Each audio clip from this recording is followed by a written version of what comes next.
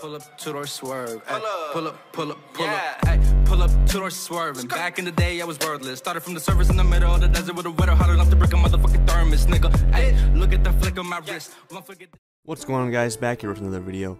Today I'm going to be showing you another snipe filter. So this is kind of a follow-up video to last week's video which was how to snipe Eastern Conference bronzes. So this week we're going to be doing the Western Conference as I promised. So starting off the video kind of like last week's, the prices if you don't see them the same way as you do in this video when you go and try to do this, it's probably because you're looking at a different time of day because the price, like anything in economics, is going to change. There's a lot of variables, so it could be if there's a lot of packs being pulled, the price is going to be cheaper. If there's not very many people on, the price can be higher, etc. So there's a lot of variables that you have to take into consideration.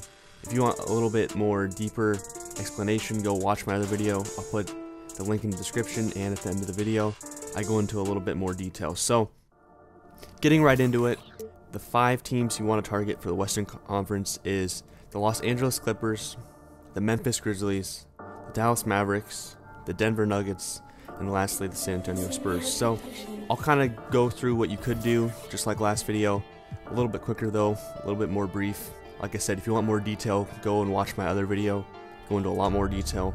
So the three bronze players, not blondes, the three bronze players are DeJounte Murray, Derek White, and Bryn Forbes. So one way you could target this team specifically would be you go and get a good idea of the lowest price for all of them. So I'm seeing 1150 here,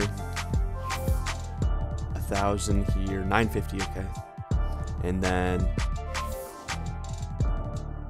1000 1000 here. So honestly, when I looked at this 950, it looks kind of like standing out. So I'd say a 1000 is the average. So what you do is go to bronze, maximum buyout. I would say 800.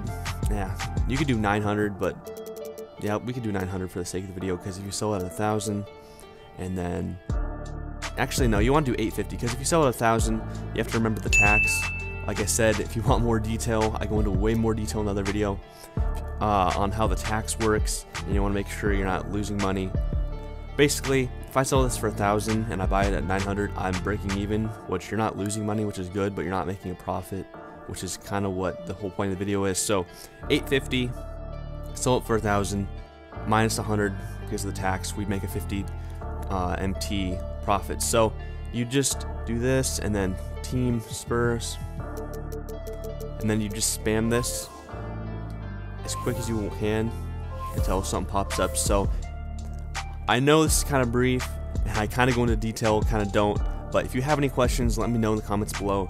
That's kind of the those are the teams you want to target, and like I said, guys, it depends on the time of day. So if you're not seeing the price as you see in this video, if they're cheaper, just wait. Prices fluctuate. So thank you guys for watching this video. I really have fun making these videos for you guys. And if you have any comments, any comments, any questions, leave them in the comments below. I will be coming out with sniper, sniper filters every week. And if you have any specific ones you want, let me know in the comments below. So thank you for watching, and I'll see you in the next video.